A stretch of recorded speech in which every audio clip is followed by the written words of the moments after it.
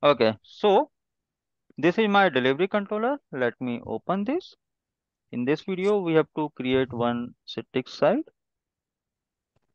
So let me make it full screen. So when you will complete the installation part now, then you will click on start. You will get Citrix Studio console over there. So just open the console. For first time, it will take a while to open the console.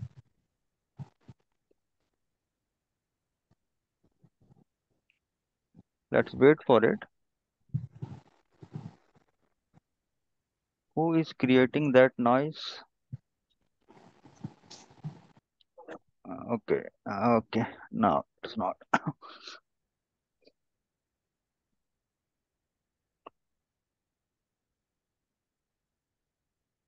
Okay, so this is a first look of Citrix Studio, right?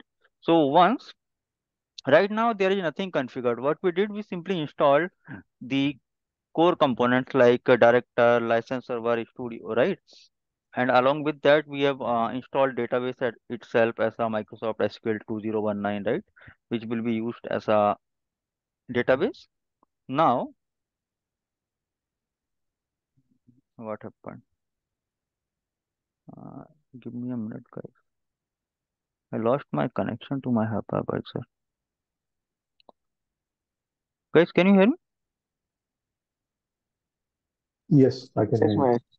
Okay, uh, there is something wrong happened. Just give me a minute. I need to check my bare metal hypervisor. Something went wrong.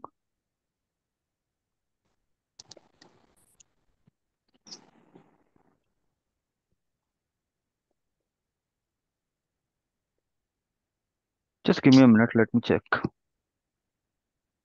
Sure.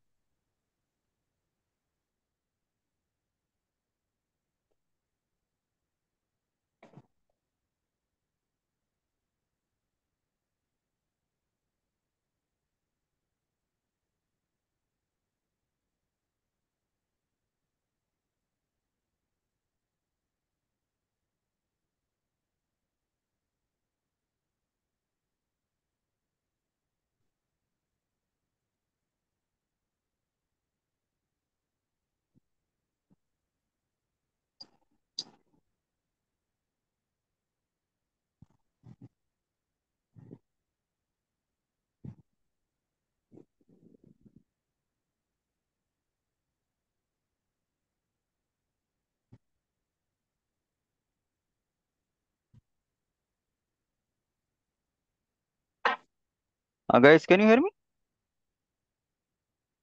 Yes.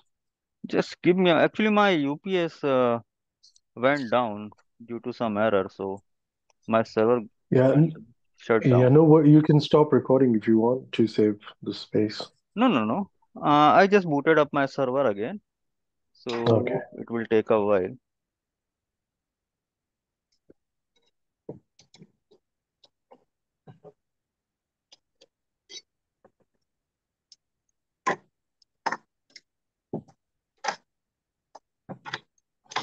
Okay, I think it is up now.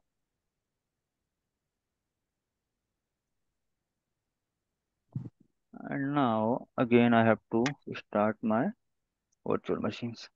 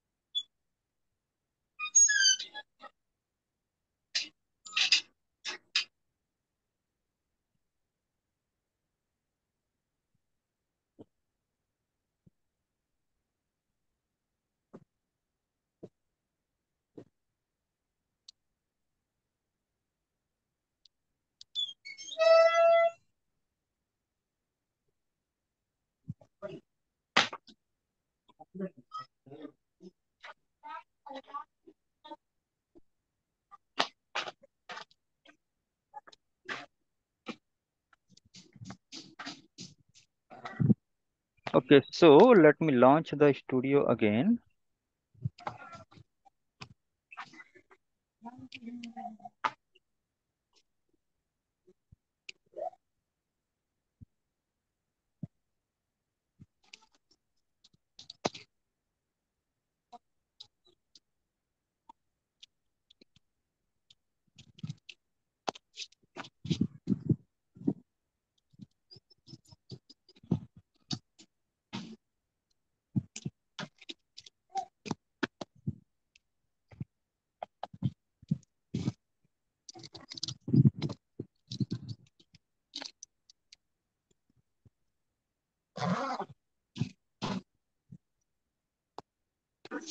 Okay, so when you launch the Citrix Studio for the first time after the installation, you will get three options over there.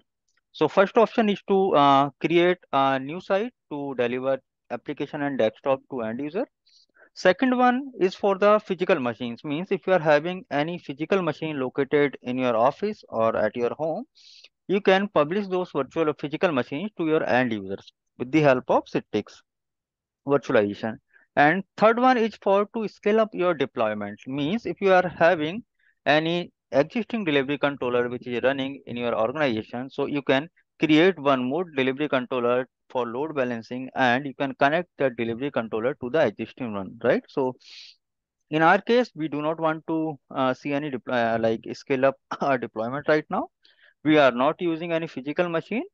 We have to uh, create a site for our virtual machines, right? So I'm will go with the first option.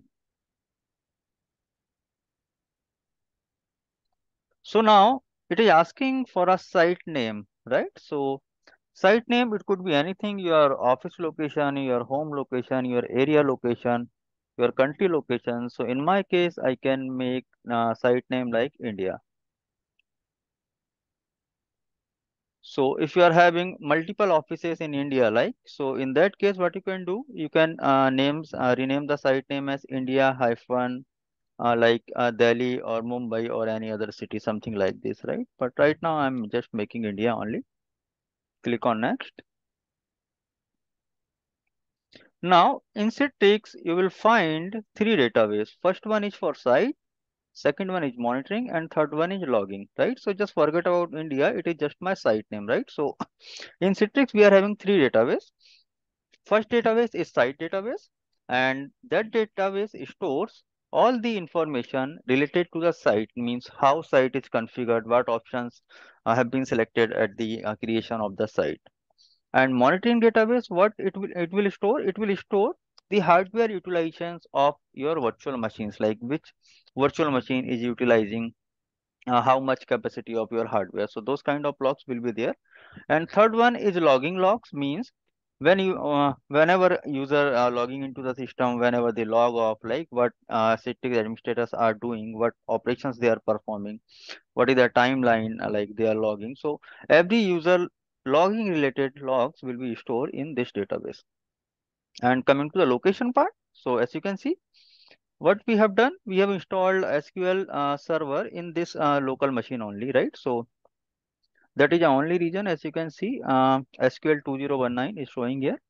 So in our case our local host uh, our local host with the sql server. But if you have any separate sql server in your organization so what you have to do you have to replace the local host with the ip name or host name of that sql server. And that is our default instance uh, like sql express is the database uh, instance name. Simply click on next. So now it will create uh, the three database in sql server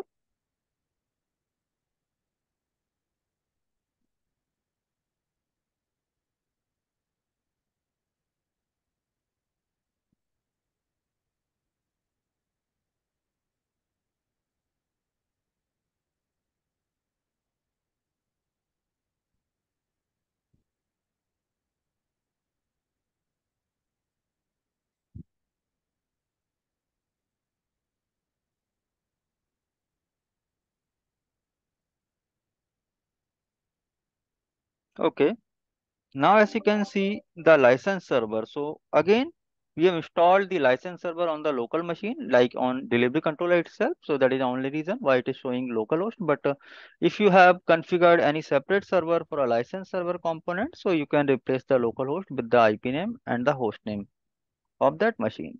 So by default you will get 30 days trial license from citrix for learning perspective.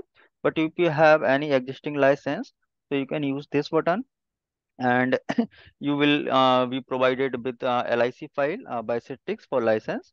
So you can browse for that LIC file and whatever the location in your system, right? So right now we do not have any license. Also, if you have any license code, you can uh, enter the license code and you can allocate license. But we are good to have 30 days trial. Simply click on next.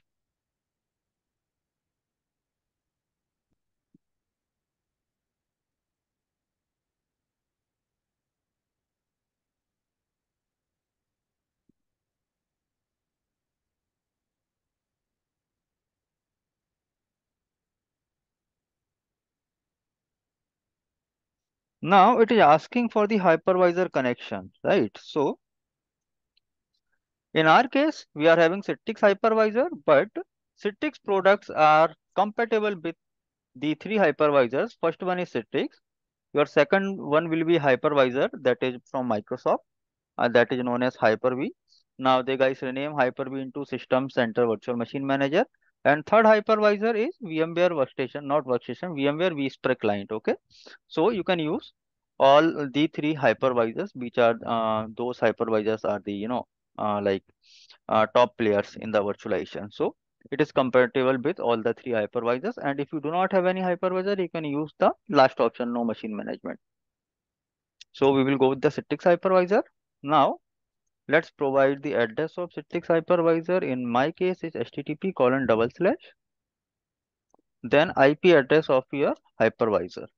So it's 192.168.10.101. Now default username for Linux uh, machines, it is root. And now I'm entering the password for that root user and connection name you can enter like uh, Xen server. Xen server hyphen 01 so that will be your connection name. And here we are using uh, like uh, Citrix machine creation services. And now storage management. So in production you will find uh, some shared storage like your NAS storage, TrueNAS or your iSCSI storage or any network storage you will find over there. But uh, uh, that storage is very, very costly. So in our case, what we will do, we will use the local storage of hypervisor. So in production, why use the shared storage? The reason is that if your hypervisor goes down, in that case, all of the data of the users will be available at the shared storage, right? But if we use the local storage, like if my hypervisor goes powered off right now each and every uh, virtual machine simply powered off and uh, uh, like my users will lose the any running data. But for learning we are good with local uh, storage. But in production you will find some network storage. Now this is a selection like operating system we deploy on the local storage and user temporary files as well on the local storage. Click on next. Now it is asking for the network name. So network name, it should be identical like Xen for Xen server, then n for the network. And it's my Xen server 01 hypervisor. So I have given some identical name here.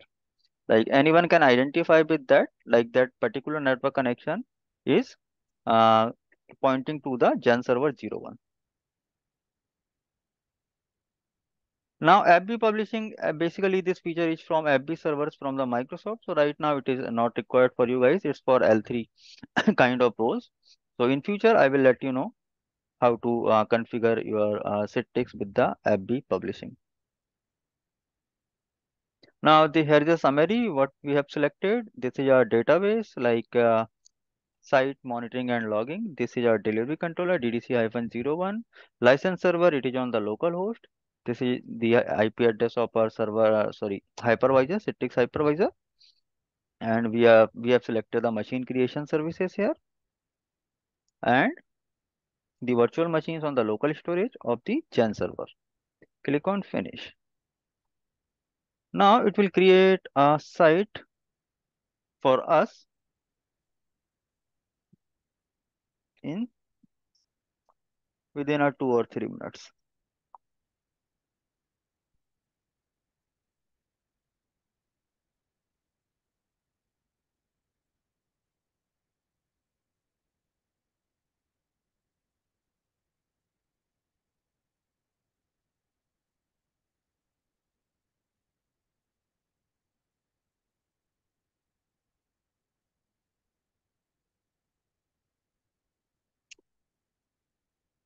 Okay, so now it is creating the database and multiple things are going on. If you want to check the database in your Linux machine, right? So what, how can you do?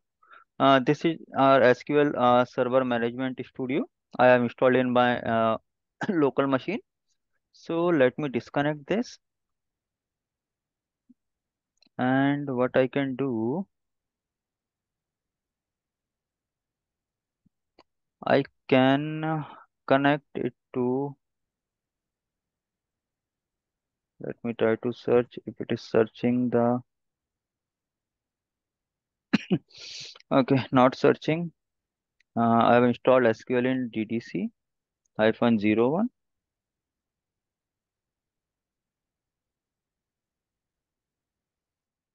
Let's see if it's it will connect or not.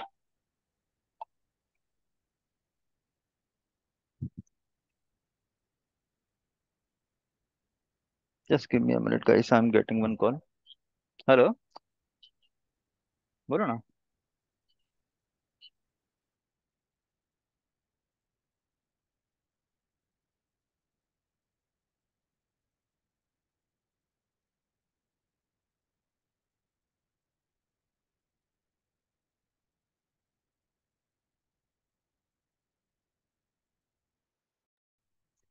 Okay, guys. So I think our site is almost ready. Where it is?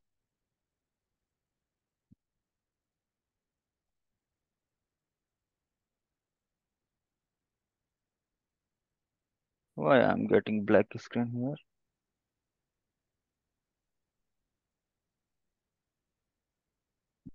Guys, can you hear me? Yes. Okay. So as you can see, my screen is visible, right? Guys, can you see my screen? Yes, yes, we can see that. Okay, so this is our first site uh, for Citrix. It has been created, right? And now uh, we have only three minutes remaining in the this call. So within two minutes, I am sharing new invite to you, and I will explain each and everything, whatever the options available here. Okay, in uh, five minutes. Okay. So I'm terminating this call, and I will I will be sharing new invite to you guys. Okay. Okay.